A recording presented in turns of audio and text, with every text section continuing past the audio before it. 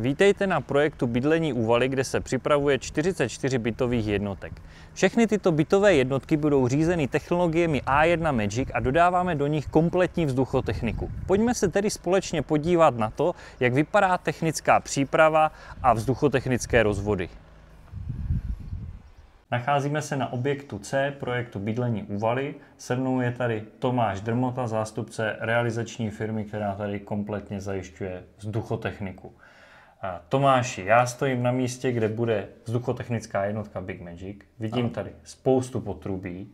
Vidím tady, že je tady tvrdé potrubí, potom je tady ty, toto měkké. Můžeš nám prosím říct něco k tomu, jaký plní účel, jaký je mezi nimi rozdíl?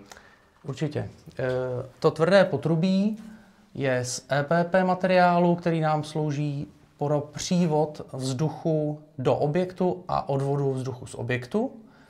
Je teplně izolované díky, díky své e, koncepci.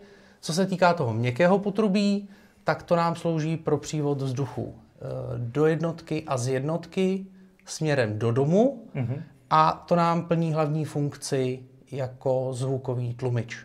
Perfektní. Já tady potom vidím ještě chladivové potrubí. To je tady z jakého důvodu?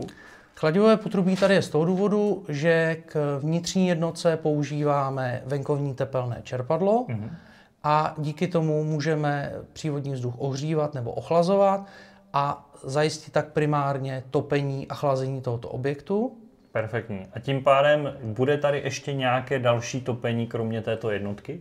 Určitě, nesmíme, nesmíme opomenout eh, vždycky bivalentní zdroj a stejně jako tady budou tady podlahové folie eh, topné ve všech místnostech.